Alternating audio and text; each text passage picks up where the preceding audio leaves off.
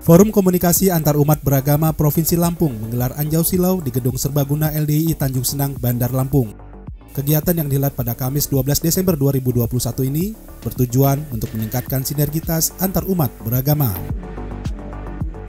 Ketua FKUB Provinsi Lampung Baharudin mengungkapkan, untuk mewujudkan sinergi antar umat beragama dimulai dari solidaritas antar lembaga.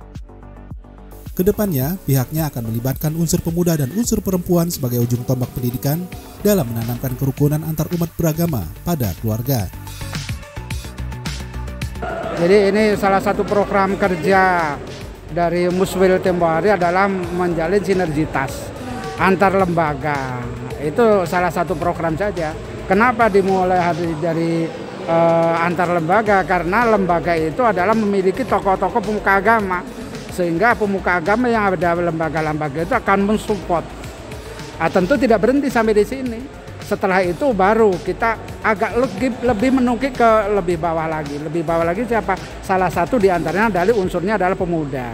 Nanti suatu saat bukan pemuda lintas agama juga perempuan, wanita lintas agama seperti karena masing-masing punya potensi. Untuk pemuda kalangan pemuda, untuk perempuan lintas agama juga nanti akan kenapa wanita lintas agama karena mereka punya uh, andil yang sangat besar untuk menanamkan di mana di keluarga.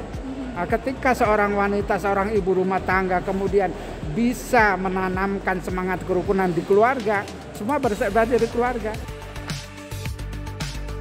Hal ini selaras dengan program LDII yang mengimplementasikan dakwah ramah yang menyejukkan sebagai upaya untuk menjaga keharmonisan dan kerukunan antar umat beragama sehingga tercapai persatuan dan kesatuan.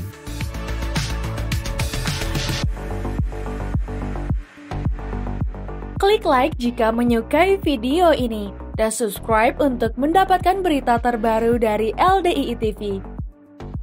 Alhamdulillahi jazakumullahu khairah telah menonton.